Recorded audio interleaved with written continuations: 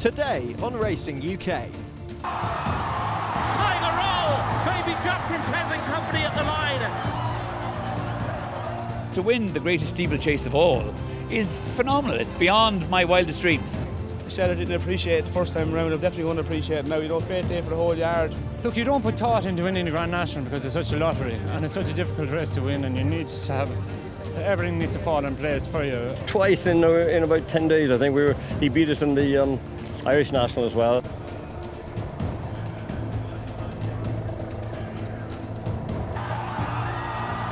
Blacklock lost in translation. Blacklock now just going to the lead. It's going to be Blacklock.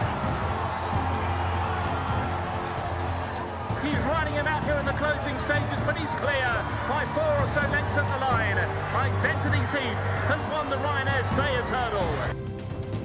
For all of this and more, visit racinguk.com.